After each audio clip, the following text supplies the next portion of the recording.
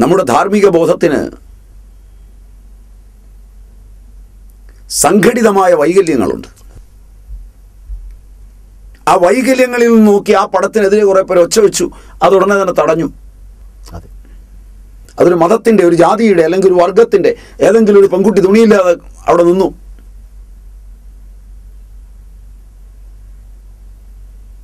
അതൊരു ഞരമ്പ് രോഗിക്ക് മാത്രമുള്ള വിഷയമാണ്. ആരോഗ്യമുള്ളവന് കാമത്തെ ശൃംഗാരത്തിലേക്ക് ഉദാത്തീകരിച്ചെടുക്കാൻ അറിയുന്ന ഒരു മനസ്സ് വളർന്ന ഒരുവനെ സംബന്ധിച്ചിടത്തോളം അത് അപ്രധാനമാണ് നഗ്നമാണോ അല്ലയോ എന്നത്.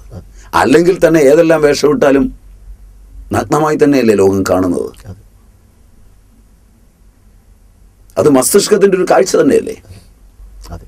മതനോത്സവത്തിലെ നായിക രോഗിയായി കിടക്കുമ്പോൾ ഇന്ദ്രിയങ്ങളിൽ വന്ന മാറ്റം. കണ്ണ് കലങ്ങി കരഞ്ഞു ശരീരം വറച്ചു ആ കൈ വിറച്ചു കാൽ വിറച്ചു. കാൽ തളരുന്നതായി തോന്നി കൈ തളരുന്നതായി തോന്നി. തരുതര മൂത്രമൊഴിക്കണമെന്ന് തോന്നി. ഇതെല്ലാം ഇന്ദ്രിയങ്ങളിൽ വന്ന മാറ്റം ചെവി കേൾക്കാൻ പാടില്ലാത്തതുപോലായി തൊക്ക് ചുട്ടുപൊള്ളുന്നത് പോലായി ആ പടം കണ്ടിറങ്ങിയിട്ട് പോകുന്ന ആളുകൾ ആത്മാർത്ഥമായി അത് കണ്ടു കഴിഞ്ഞാണ് പോകുന്നതെങ്കിൽ ഒരാൾ മറ്റൊരാളെ നോക്കാതെ നടന്നു പോകുന്നത് കാരണം കരയുന്നത് വേറൊരാൾ കാണാതിരിക്കത്തക്ക വിധത്തിലാണ് നടന്നു പോകുന്നത് അവരാഹാരം കഴിക്കുന്നില്ല ആ സമയത്ത്. അവരുടെ ഉപാപചയ സംബന്ധമായ പ്രവർത്തനം മാറി. രാത്രിയിൽ ഫസ്റ്റ് ഷോ കഴിഞ്ഞിട്ട് പോയ പല ആളുകളും ഈ പടം കഴിഞ്ഞ് പോയി അന്ന് അത്താഴം കൊണ്ടിട്ടുണ്ടാവില്ല. വീട്ടിൽ വെച്ച് വെച്ച അത്താഴം പിറ്റേ ദിവസം രാവിലെ എടുത്ത് ഉപയോഗിച്ചെങ്കിലായി അല്ലെങ്കിൽ കളഞ്ഞെങ്കിലായി കാരണം കഴിക്കാനിരുന്നാൽ കഴിക്കാൻ പറ്റില്ല.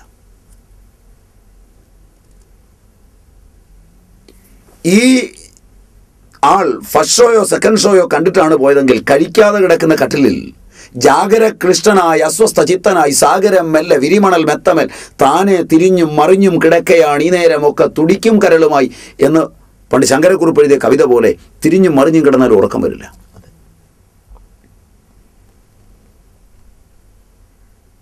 ഇതിനാണ് പൈസ കൊടുത്തത്. ഇതാണ് നല്ല പടമാണെന്ന് പിറ്റേഴ്സിന്റെ രാവിലെ ഉണർന്നിട്ട് അടുത്തവനോട് പറഞ്ഞത്. തന്റെ പ്രതിബിംബത്തെ പൂർണമായി ഉണർത്തുകയും തന്റെ ഉറക്കം കെടുത്തുകയും തന്റെ ആഹാരത്തിലെ രുചി നഷ്ടപ്പെടുത്തുകയും തനിക്ക് ആഹാരം വേണ്ടെന്ന് തോന്നുകയും ചെയ്ത ഈ പടം.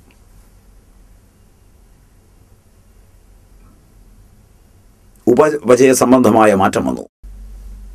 ഈ പടം കണ്ടുകൊണ്ടിരിക്കുന്ന സമയത്ത്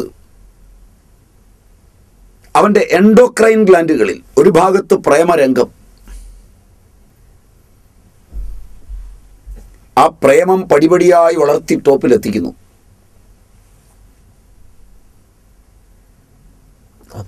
ആ സമയത്തെല്ലാം ഇയാളുടെ എൻഡോക്രൈൻ ഗ്ലാൻഡുകൾ ഉണരുന്നു.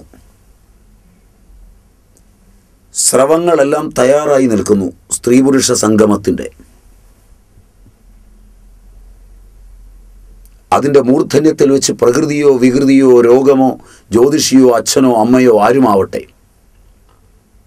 ആ ചേർച്ചയുടെ മുമ്പിൽ ശത്രുവായി വരുന്നു.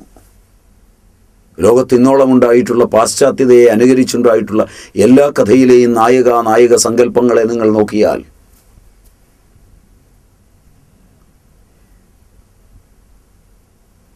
അതെത്തി നിൽക്കുന്നത് ഇത്തരമൊരു വില്ലനിയുടെ മുമ്പിലാണ് വില്ലൻ മറ്റൊരു പുരുഷനാകാം. വില്ലൻ മതമാകാം. വില്ലൻ ജാതി സങ്കല്പമാകാം. വില്ലൻ പ്രകൃതി തന്നെയാകാം വില്ലൻ രോഗമാകാം. നമ്മൾ പറഞ്ഞ ഈ കഥയിൽ രോഗമാണ്. രോഗിയായ നായികയുടെ രോഗം മുഴുവൻ തനിക്കാണെന്ന് തോന്നുമാർ ഏറ്റവും എടുക്കുന്ന ഒരു നിമിഷം. എൻഡോക്രൈൻ ഗ്ലാൻഡുകളും തൈറോയിഡ് ഗ്ലാ- ഗ്ലാൻഡുകളും ഒക്കെ ഉൾപ്പെടെ കണ്ഠഗോളകങ്ങൾ തൈറോയിഡ് ഗ്രന്ഥി.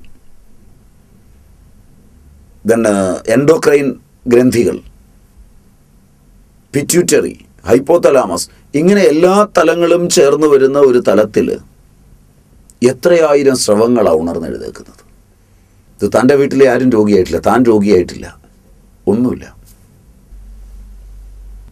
അതിലുണ്ടാകുന്ന വൈകാരിക അസന്തുലിതാവസ്ഥ സ്ട്രെസ് ഹോർമോണായ ടി എസ് എച്ചിനെ ഉദ്ധരിക്കുമ്പോൾ ഉയർത്തുമ്പോൾ ശരീരത്തിന്റെ രാസോർജ പരിണാമം മുഴുവൻ മാറി മറിയുമ്പോൾ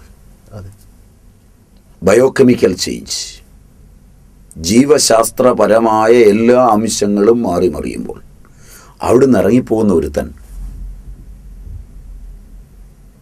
അവന്റെ സ്റ്റം സെല്ലിൽ ഉൾപ്പെടെ ഒരവബോധമായി കടന്നു ചെല്ലാവുന്ന ഒരു പ്രതിബിംബത്തെ സൃഷ്ടിച്ച് ക്യാൻസർ ഉണ്ടാക്കിയായിരിക്കുമോ ഇറങ്ങിപ്പോകുന്നത്? നിരന്തരമായ രോഗങ്ങളെ പറ്റിയുള്ള ചർച്ചകൾ. രോഗത്തെക്കുറിച്ചുള്ള വിഹ്വലതകൾ. രോഗം നാളെ വന്നാൽ രക്ഷപ്പെടാനുള്ള ഇൻഷുറൻസുകൾ. വരാൻ പോകുന്ന രോഗങ്ങളെ പറ്റിയുള്ള അറിവുകൾ.